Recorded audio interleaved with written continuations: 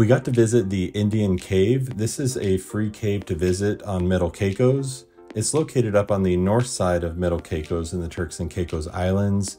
To get there from Dragon Cay Resort, you'll go down, you'll see this roundabout, and you can park in the roundabout, and then there's a trail that goes into the cave. You'll see a sign that says Indian Cave, and from the street, this is what it looks like. And then as you walk up, you'll see that there's a paved trail that takes you right to the cave.